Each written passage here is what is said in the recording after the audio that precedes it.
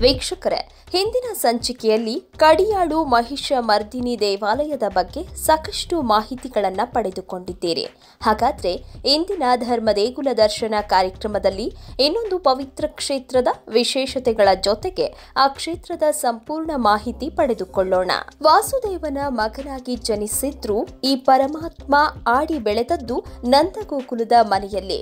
ಯಶೋದೆಯ ಮುದ್ದು ಕಂದನಾಗಿ ಬೆಳೆದ ಈತ ತೋರಿಸಿದ ಪವಾಡ ಅಸಾಧ್ಯವಾದುದು ಧರ್ಮ ಸಂಸ್ಥಾಪನೆಗೆ ಭೂಮಿ ಮೇಲೆ ಜನ್ಮ ತಾಳಿದ ಈತನಿಗೆ ಸಕಲ ಜೀವಿಗಳು ಭಕ್ತರೆ. ಬನ್ನಿ, ಇವತ್ತಿನ ಸಂಚಿಕೆಯಲ್ಲಿ ಪ್ರಕೃತಿಯ ಮಡಿಲಲ್ಲಿ ನೆಲೆ ನಿಂತ ಗೋಪಾಲಸ್ವಾಮಿಯನ್ನ ದರ್ಶನ ಮಾಡಿ ಕೃತಾರ್ಥರಾಗೋಣ.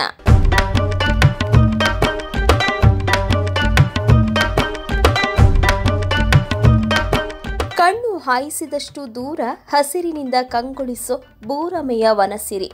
ದೇಗುಲದಿಂದ ಕೇಳಿಬರೋ ಗಂಟೆಯ ಇಂಪಾದ ನಾದ ಮಂಜು ಮುಸುಕಿದ ವಾತಾವರಣ. ತಂಪಾದ ಗಾಳಿ. ಬೆಟ್ಟದ ಮೇಲೆ ಹೋಗ್ತಾ ಇದ್ರೆ ಬದುಕಿನ ಜಂಜಾಟಗಳೆಲ್ಲ ಕ್ಷಣಕಾಲ ದೂರವಾಗಿ ಬಿಡುತ್ತೆ. ಇನ್ನು ಈ ಕ್ಷೇತ್ರದ ಮೇಲೆ ನೆಲೆ ನಿಂತ ಗೋಪಾಲಸ್ವಾಮಿಯನ್ನ ದರ್ಶನ ಮಾಡಿದ್ರೆ ನಮ್ಮೆಲ್ಲ ಮನಸ್ಸಿನ ಕ್ಲೇಶಗಳು ಆ ಸ್ವಾಮಿಯ ಚರಣಾರವಿಂದಗಳಲ್ಲಿ ಲೀನವಾಗಿ ಬಿಡುತ್ತೆ ಅಂತ ಅನ್ನಿಸುತ್ತೆ. ಸಮುದ್ರ ಮಟ್ಟದಿಂದ ಸುಮಾರು ಸಾವಿರದ ನಾನೂರ ನಲವತ್ತು ಮೀಟರ್ ಎತ್ತರದಲ್ಲಿರುವ ಈ ಬೆಟ್ಟದ ತುದಿಯಲ್ಲಿ ಶ್ರೀಕೃಷ್ಣ ಗೋಪಾಲಸ್ವಾಮಿ ಎನ್ನುವ ಹೆಸರಿನಿಂದ ನಾಟ್ಯ ಭಂಗಿಯಲ್ಲಿ ನೆಲೆಯೂರಿದ್ದಾನೆ. ಇಲ್ಲಿ ಮಾಧವನ ಜೊತೆ ಸತ್ಯಭಾಮೆ, ರುಕ್ಮಿಣಿ, ಗೋವುಗಳು, ಗೋಪಿಕಾ ಸ್ತ್ರೀಯರು, ಕೃಷ್ಣನ ಸ್ನೇಹಿತ ಮಕರಂದ ಇವರನ್ನ ಕೂಡ ನಾವು ಕಾಣಬಹುದಾಗಿದೆ. ಇಲ್ಲಿಗೆ ಬಂದು ದಂಪತಿಗಳು ಸಂತಾನ ತೀರ್ಥದಲ್ಲಿ ಮೆಂದೆದ್ದು ದೇವರಿಗೆ ಪೂಜೆ ಮಾಡೋದ್ರಿಂದ ಅವರಿಗೆ ಉತ್ತಮವಾದ ಸಂತಾನ ಭಾಗ್ಯವನ್ನ ಕರುಣಿಸ್ತಾನೆ ಈ ಸ್ವಾಮಿ. ಹೀಗಾಗಿ ಗೋಪಾಲಸ್ವಾಮಿಯನ್ನ ಸಂತಾನ ಗೋಪಾಲಸ್ವಾಮಿ ಎಂದೇ ಕರೆಯಲಾಗುತ್ತೆ.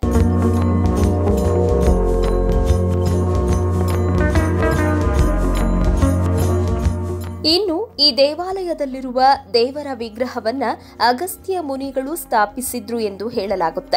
ಅಗಸ್ತ್ಯ ಮಹಾಮುನಿಗಳು ಶ್ರೀಕೃಷ್ಣನ ಬಳಿ ನೀನು ಕಲಿಯುಗದಲ್ಲಿ ಈ ಬೆಟ್ಟದ ಮೇಲೆ ನೆಲೆಯೂರಿ, ಇಲ್ಲಿಗೆ ಬರುವ ಭಕ್ತರನ್ನ ಕಾಪಾಡಬೇಕೆಂದು ಪ್ರಾರ್ಥಿಸಿದ್ರು.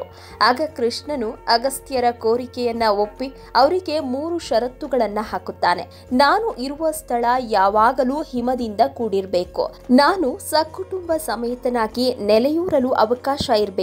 ಹಾಗೂ ನನಗೆ ಸಪ್ತರ್ಷಿಗಳಿಂದ ಯಾವಾಗಲೂ ಪೂಜೆ ನೆರವೇರಬೇಕು ಎಂದು ಹೇಳುತ್ತಾನೆ. ಪರಮಾತ್ಮನ ಷರತ್ತುಗಳಿಗೆ ಅಗಸ್ತ್ಯರು ಒಪ್ಪಿದ ನಂತರ ದೇವನು ಈ ಬೆಟ್ಟದ ಮೇಲೆ ಸಕುಟುಂಬ ಸಪರಿಮೇತನಾಗಿ ಬಂದು ನೆಲೆಸಿದ ಎಂದು ಪುರಾಣಗಳಲ್ಲಿ ಉಲ್ಲೇಖಿತವಾಗಿದೆ.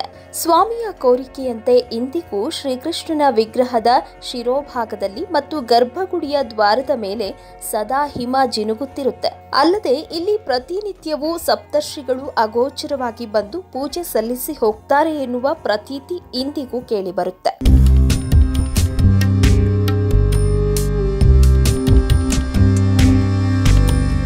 ಈ ಕ್ಷೇತ್ರದಲ್ಲಿ ಪಾಲ್ಗುಣ ಮಾಸದಲ್ಲಿ ಏಳು ದಿನಗಳ ಕಾಲ ದೇವರ ರಥೋತ್ಸವ ನಡೆಯುತ್ತೆ.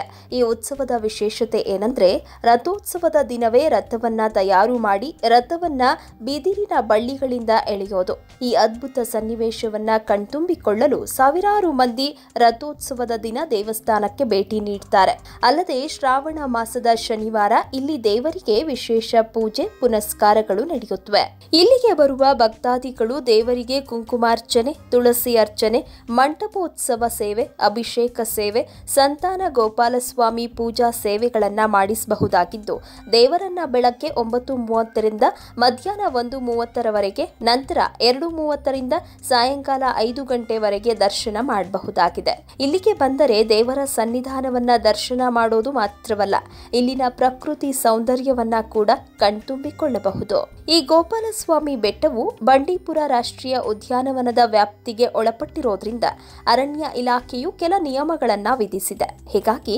ಬೆಳಗ್ಗೆ ಏಳು ಗಂಟೆಯಿಂದ ಸಾಯಂಕಾಲ ಐದು ಗಂಟೆವರೆಗೆ ಮಾತ್ರ ಇಲ್ಲಿಗೆ ತೆರಳಲು ಅವಕಾಶಗಳಿದ್ದು, ಈ ಕ್ಷೇತ್ರದಲ್ಲಿ ರಾತ್ರಿ ವಾಸ್ತವ್ಯವನ್ನ ನಿರ್ಬಂಧಿಸಲಾಗಿದೆ. ಪುರಾಣ ಪ್ರಸಿದ್ಧ ಹಿಮವದ್ ಗೋಪಾಲಸ್ವಾಮಿ ದೇವಾಲಯವು ಚಾಮರಾಜನಗರದ ಗುಂಡ್ಲುಪೇಟೆ ತಾಲೂಕಿನಲ್ಲಿದೆ.